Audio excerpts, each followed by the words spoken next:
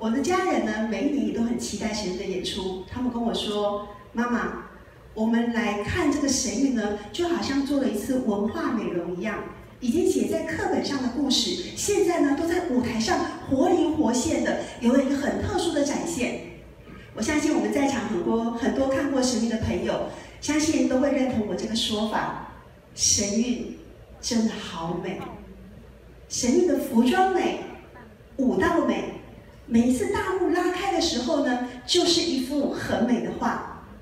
对我来说，神韵最美的部分，就是它每一个节目里面都蕴含着那种神传文化里面传统美好的价值观。就像我们刚刚主持人讲的，节目里面呢有祭天重德、仁义礼智信这些美好的信息在里面。有朋友曾经问我：“哎，配方啊，什么是神传文化？我不是很熟悉哎。”下面呢，为大家做点简单的介绍哦。我觉得这幅这幅画呢，我们可以来看图说故事，它也很能够代表神传文化。大家看到画面的右手边上面呢，有很多神仙。在中国那片土地上呢，自古以来就被称为神州大地，对不对？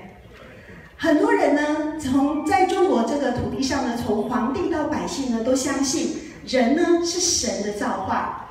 他就派了六千名的弓箭手，齐刷刷的排开，然后江中呢啪射箭。有去看过的朋友都知道，背景的那个动态天幕，像雨点般的箭唰就全部都落在那个草船上。那因为一边嘛，它船是绑在一起的，一边呢受箭之后呢太重了，船身倾斜。那时候天幕又开始动哦，然后那个曹操呢就拿他的羽扇呢，就就像现在这个动作一样，就。大手一挥，就让船全部掉头。掉头之后呢，让另外一方面也啪也接受那个箭。然后呢，天要亮了，太阳要出来了，雾要散了。呃，诸葛亮算一算呢，二十艘的船上呢，每一艘船上大概有五六千支的箭，已经超过十万支了。他就叫他的军士们说：“好了，船可以往回开了。”而且呢，他叫他的士兵们齐声大喊。谢谢曹丞相的剑，然后呢，鲁肃回去呢，就跟周瑜报告这个情况，说报告他借剑的经过。周瑜一听啊，唉，诸葛亮神机妙算，我不如他。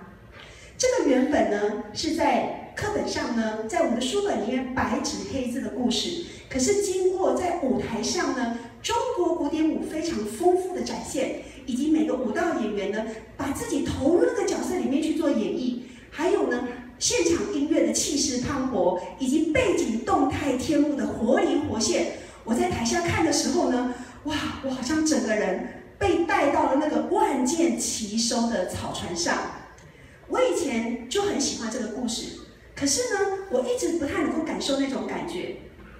今年在看完实力的节目的时候，我有一个两个很大的体会。第一个，就是我们做什么事情的时候呢，其实是要经过通盘的考虑，而且不能照镜。如果对诸葛亮在第一时间呢，他就说：“天，你十天要我造十万支箭，怎么可能呢？”编的啊，这个故事可能就要可能就要重写了，因为现在很容易这样嘛。我们碰到什么不舒服的事情呢，哎，就就会很急躁这样子。可是呢，诸葛亮他不是这样子。他经过通盘的考虑之后，因为他还要跟周瑜有比较多的合作，因为三国鼎立嘛，他要均衡这个势力，所以呢，他第一时间没有这么做。他说，反观我们现在的人，如果碰到比较不公平、不正义的事情呢，好像就很不容易隐忍下来，但是这样是很不能解决问题的。所以呢，他从这个故事里面就觉得说，哎，我们可以效法古人的智慧。